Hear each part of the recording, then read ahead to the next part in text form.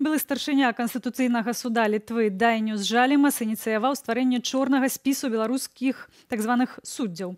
У ганебным рэестры ўжо значыцца прыблізна 190 асобаў. Суддзі з чорнага спісу нясуць асаблівую адказнасць за выпадкі, звязаныя з чалавечнасцю.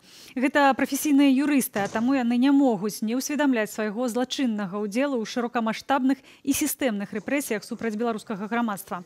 Падчас нядаўніх сустрэчаў у вільні і варшаве кіраўнік нау павел латушка і дайню з жалемас дамовіліся пра максімальную супрацу, каб выкрыць і прыцягнуць да адказнасці юрыстаў, што здзяйсняюць злачынствы супраць чалавечнасці, выносячы супрацьзаконныя ды палітычна матываваныя прысуды беларусам. Тэму працягнем з паўлам латушкам прадстаўнікаў аб'яднанага пераходнага кабінету беларусі. Прадстаўнік па транзіце ўладзе улады спадарпа добрый вечар. Добрый вечар. Наконт гэтага спіса 190 асобаў хто перадусім у гэтым спісе і ці сапраўды іх можна да адказнасці прыцягнуць Гэта вельмі важная ініцыятыва, якая зроблена нашым сябрам былым старшынём канстытуцыйнага суда літвы. Мы сустракаліся, абмяркоўвалі з ім гэты падыход яшчэ як каманда народнага антыкрыснага ўправлення. зразумела, як прадстаўнік у кабінеце па пытаннях транзіту я таксама адказваю за юрыдычны ціск, правы ціск у адносінах да прадстаўнікоў рэжыма, які здзейснілі і здзяйсняюць злачынствы супраць беларускіх грамадзянаў. Вельмі важна, што з'яўляецца фактычна з'явіўся чорны спісак суддзяў якія будуць абвінавачвацца ў здзяйсненні злачынства супраць чалавечнасці. І уже зроблены першы прэцэдэнт гэта не толькі спіс але пададзена канкрэтная заява ў пракуратуру літвы па факце э, злачынстваў здзейсненых суддзём э, у адносінах да грамадзяніна беларусі. Па-першае гэта выносіцца палітычна матываваныя судовыя рашэнні і такіх ужо тысячы на беларускай зямлі. Гэта калі суддзі не рэагуюць на факты здзекаў злачынстваў збіцця ў адносінах да тых людзей у адносінах якіх яны выносяць палітыка матываваныя юрыдычныя рашэнні. А мы павінны ведаць што яны перадусім юрысты. Менавіта суддзі павінны кантраляваць выкананне заканадаўства. Яны не выконваюць яны працуюць толькі ў інтарэсах рэжыма. Значит яны палітычна матываваны. Яны павінны ведаць што пачынаюцца крымінальныя справы супраць іх. Зразумела што запытаецеся калі гэта адбудзецца? Гэта все пытаюцца Я таксама вельмі крытычны да нашых партнёраў, калі мы кажам па тэрмінах разгляда справа ў рамках юрыдычнай э, універсальнай юрысдыкцыі. Але важна, што гэтыя працэсы пачынаюцца. важна, што гэтыя спіскі ёсць. важна, што ёсць ужо канкрэтныя справы. І мы будзем супрацоўніцаць з літвой з нашым сябрам жалімасам, каб гэтыя справы мелі і канкрэтныя вынікі. Дарэчы, у рамках кабінета мы уже за вераснень правялі вельмі шмат сустрэчаў на гэты конт. Перша мы падпісалі з польскай кампаніі забароўскі і партнёры. адпаведнае пагадненне пададзены тры справы ў пракуратуру Польшы ўзбуджэнні крымінальных справаў па універсальнай юрысдыкцыі. Мы э, таксама працуем з томашам вілінскім вядомым юрыстам у яго 17 кейсаў.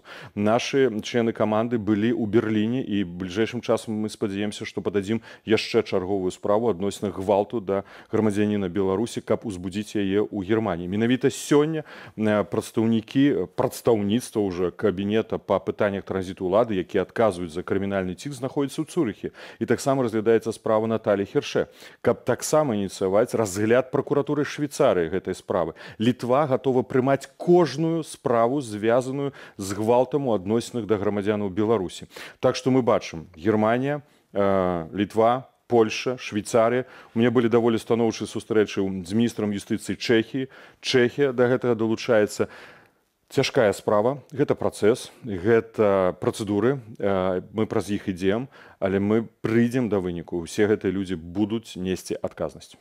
Ну і атрымліваецца, што кабінет пра пераход улады сустракаецца з еўрапейскімі прадстаўнікамі, а Лукашенко ў гэты момант едзе ў Абхазію наконт ягонага візіту пераходны кабінет таксама мае заяву Ну, вы знаете, я сразу хотел сказать, Лукашенко нашелся, осадочек остался. Два дня он исчез с экранов телевидения, никто не знал, где он находится. Якобы последний раз мы его увидели, когда он пожимал руку и пытался поддержать Путина.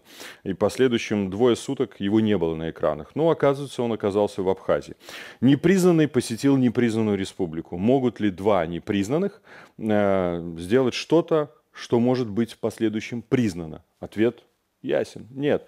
І таму заява аб'яднанага пераходнага кабінета ясная і зразумелая. Гэта не адпавядае нашим нацыянальным інтарэсам ні прызнання ні абхазіі ні асеты ні іншых тэрыторый якія акупаў акупавала расійская федэрацыя. Гэта вельмі дрэнны прэцэдэнт негатыўны прэцэдэнт мы разглядаем што лукашенко не з'яўляецца легітымным кіраўніком беларусі. Ён не прадстаўляе беларускі народ ён не прадстаўляе беларускую дзяржаву. Так функцыянальна ён працяг гэта выконваць. Таму кабінет мае свой пункт гледжання папераджэння і прадстаўляе таксама грузінскаму боку мы накіруем нашу афіцыйную пазіцыю паслам грузіі у варшаве у вільні паслу грузіі обсе таксама перададзім яе ў міністэрства замеж спраў грузіі мы прызнаем тэрытарыяльную цэласнасць незалежнасць інтэгральную цэласнасць ўсёй грузіі і мы не будзем прызнаваць гэтай рэспублікі.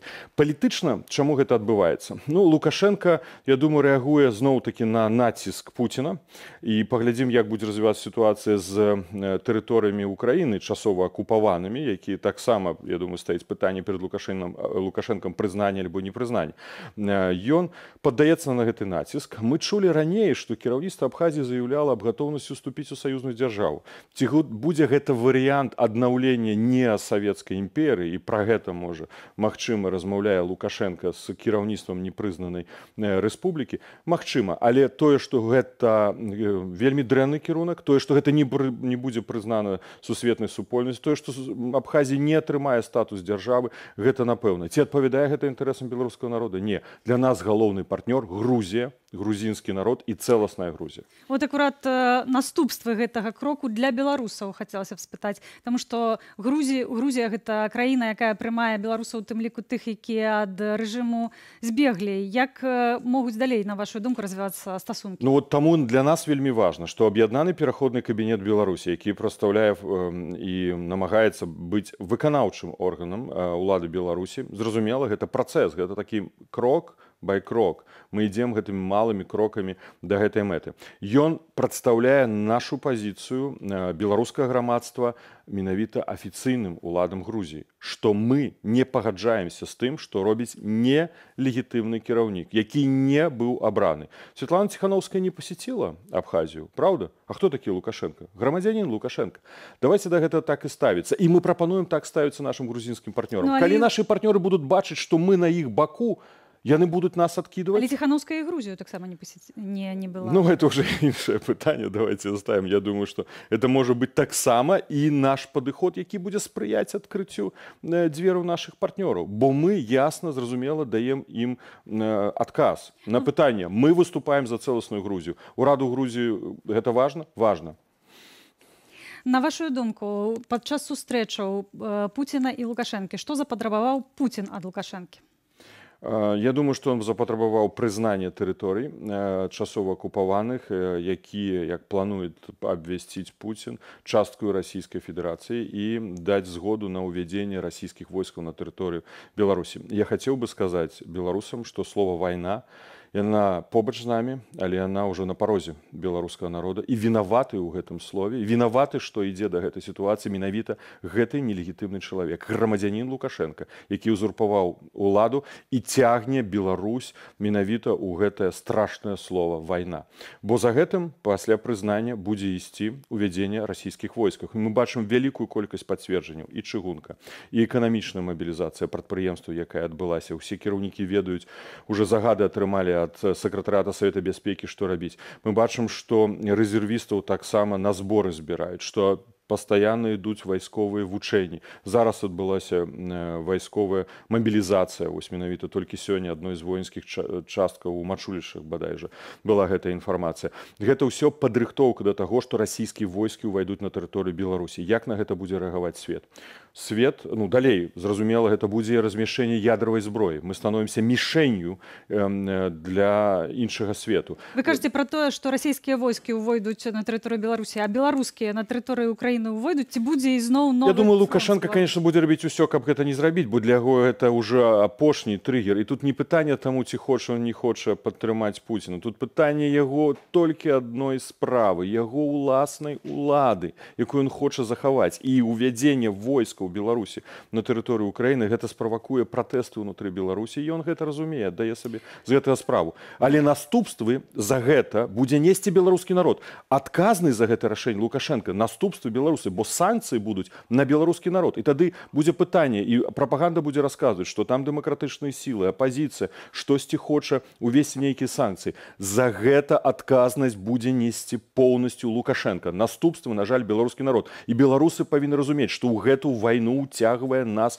лукашенко. Ён ужо ўцягнуў. На ён паглыбляе гэта ўсё ён перастае мець суб'ектнасць Беларусь траціць поўную суб'ектнасць Беларусь пацвярджае статус акупаванай краіны гэты чалавек вядзе да знішчэння нашай дзяржаўнасці і суверэнітэту мы павінны гэта думаць разумець а беларускія мужчыны павінны зразумець што заўтра будзе мабілізацыя яна адбудзецца як вынік для пуціна Беларусь гэта стратэгічны плацдарм у вайне ў Україніны але для пуціна мэта галоўная знішчыць беларускую дзяржаву дзяржаўнасць і існаванне беларускай нацыі. Ён гэта сказаў шольцу і мы ведаем гэтую публікацыю якая была.